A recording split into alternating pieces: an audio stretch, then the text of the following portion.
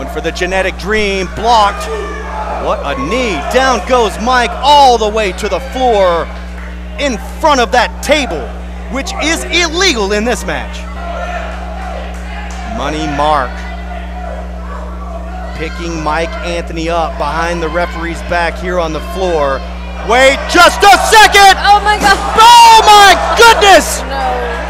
I think he He deserved every bit of that. On the concrete floor and check this out! The genetic dream from Mike Anthony! This could be it! And it is!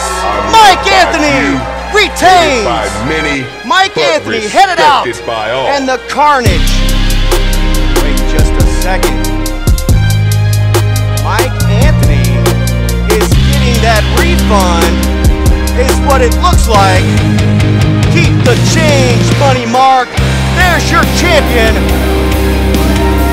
The genetic nightmare.